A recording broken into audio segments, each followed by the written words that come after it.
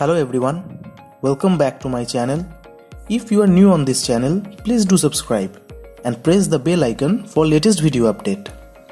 So today our topic is the full bridge diode rectifier circuit. So at first you need to understand that how rectifier circuit works. Basically, rectifier is used to convert the AC input power to DC output power. That means the input of a rectifier is AC and the output ideally that should be pure DC but in practical cases the output of a rectifier contains harmonics or ripples. So here in the left hand side you can see a diode bridge rectifier circuit is presented and in the right hand side the corresponding input output waveforms are shown. So you can see the circuit contains 4 diodes and the bridge circuit is fed through a transformer. You can also use a normal AC source instead of transformer. So during the positive half cycle of the input voltage, the power is supplied to the load through the diode D1 and D2 and during the negative half cycle, the diode D3 and D4 conducts and the waveform of the output voltage over a complete cycle is shown. And just one thing keep in mind that is the peak inverse voltage of a diode is only Vm that is the peak value of the input voltage. So let me design in the MATLAB and let's check the output.